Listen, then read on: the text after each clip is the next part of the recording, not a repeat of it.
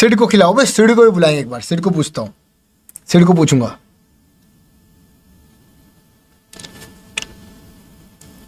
भिंडी बाज़ार yes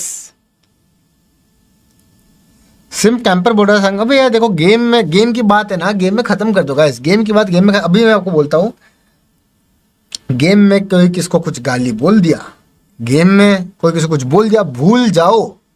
game खत्म, बात खत्म। मैं भी पहले आप लोग जैसे कुछ जो है, जो अभी ट्रिगर हो जाते हैं, और कुछ प्लेयर्स अभी भी है, जो ट्रिगर हो जाते हैं गेम में कुछ होने से, मैं भी पहले उसी टाइप का चूतिया था। मैं खुद बोलता हूँ, उस ब्रीड को चूतिया ही बोलते हैं। मैं भी उस को चूतिया था और गेम की बातों को बाहर लेके जाता था। अब नहीं लेता हूँ।